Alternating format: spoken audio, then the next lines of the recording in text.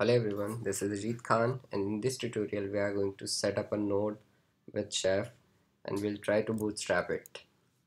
In the previous tutorial we have seen how to set up a Chef workstation and a Chef server. So this is how our Chef, works, uh, Chef server looks like. The URL was https colon forward slash chef.redirectme.net and we have also seen creating organization and a user so this is how our management console look like. So as you can see in the policy right now there is no uh, recipes or cookbooks available. And uh, say there are no items to display. And if you go to the node there is no item to display. That means we have not set up any node so let's try to set it up. So I've written a blog post for it. Bootstrap a node with chef so basically Bootstrap is a process in which we try to set up Chef client on the node and uh, we can also specify some recipes to be installed.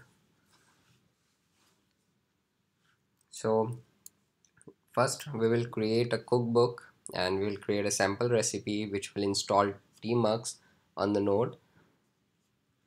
So first create uh, as we have seen in my chef directory was there so and chef repo gets created automatically.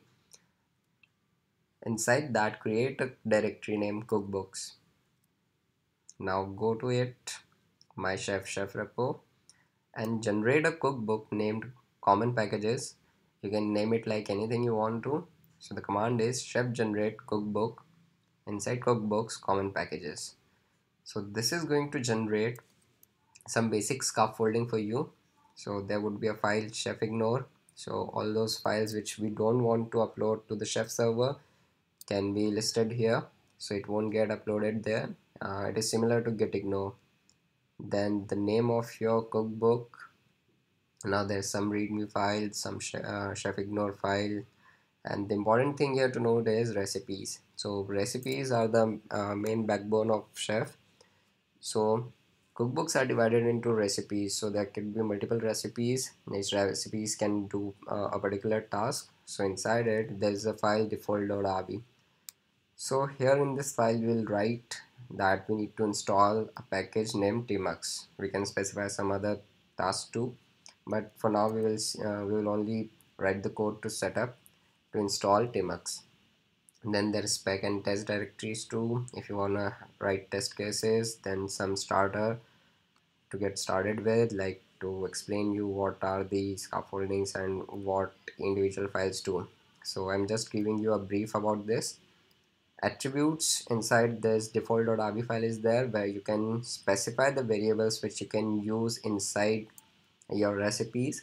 So uh, whenever you need to change a value of a particular variable then you don't need to replace it everywhere in uh, each recipes. So what you can do is simply specify those variables inside these attributes directory then files. Inside this you can have uh, multiple files. Uh, suppose you are using chef for say uh, configuration management and you need to have uh, nginx config file to be present on the node uh, which is which is being managed through chef.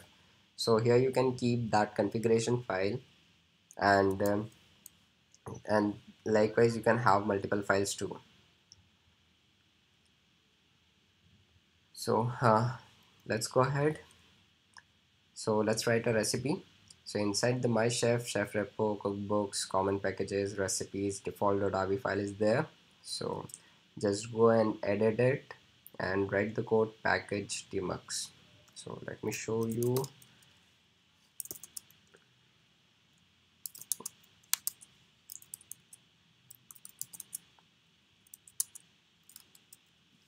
so we have written package tmux we need to install this. Now what you can do is you can also create roles so roles are basically a set of recipes which you can uh, attach to a particular node. Say for example if you have API server so you may want to have nginx setup row uh, nginx setup recipe and uh, uh, server restart recipe and further things. So all those things all those recipes which you want to include and uh, attach to a particular node then you can create roles and inside that you can uh, you can write that what all recipes applies to that particular node. So inside the chef repo roles directory is there and uh, inside which you can create the roles so we have given it the name common.json so inside this the name of the role the description and you can specify run list. So basically run list is the collection of all the recipes which you want to apply through this role. So here we only have one recipe that means that is common packages. So we are writing this. So uh, and if you want to put more then you can put a comma over here and you can specify uh, other recipes too. So we have already created this now uh, after creating this we will upload this cookbook to the chef server. As you can see right now there is no policy there is no cookbooks available. So what we'll do is we will upload this to the chef server. So the command is knife cookbook upload common packages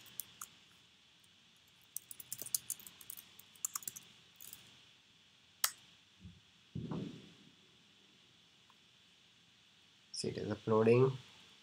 The upload is successful. Let's go and check it out on the chef server.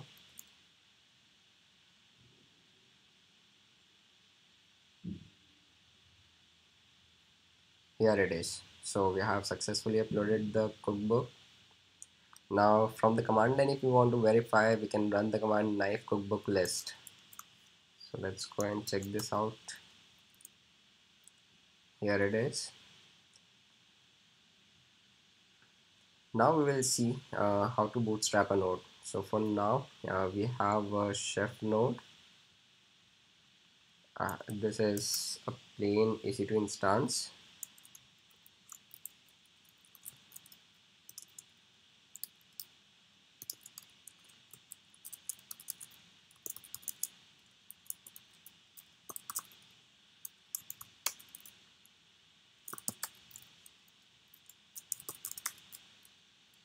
so if you let's see if tmux is installed or not. See tmux command not found. So tmux is not yet installed.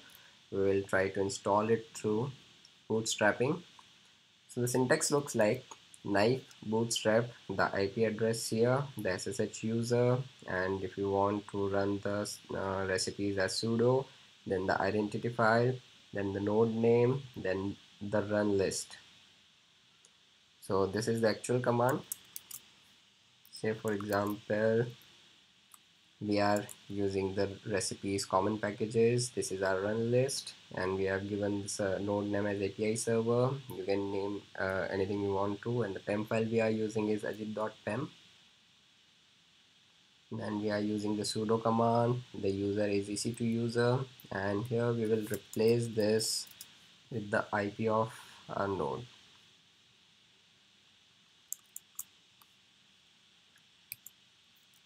so let's go ahead and see.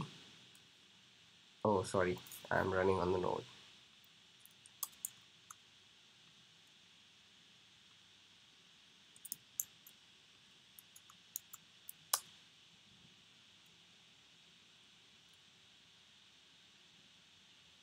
So it is creating a new client for API server creating new node connecting to this installing chef omnibus downloading the chef client and installing it.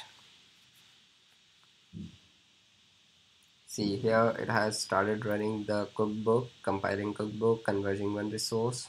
Recipe is this the default file get executed and the package tmux is get installed.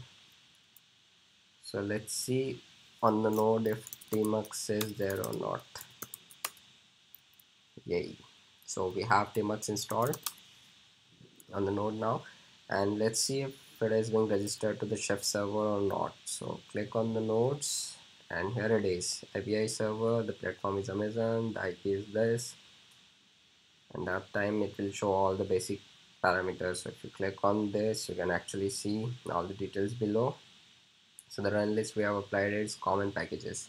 So it can uh, a node can have multiple run lists. So suppose you have multiple cookbooks so you can specify those in the roles and you can attach those roles to this. So you can edit the run list from here. So current run list is common packages. Since we have specified this during the bootstrap process so it is already there. And what you can do is all your available roles will be listed here which you can apply to this and you can save this run list so here. Uh, you can see the nodes is already there and the policy is also there.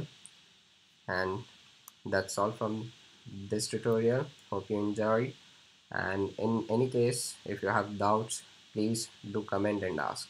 Thanks for watching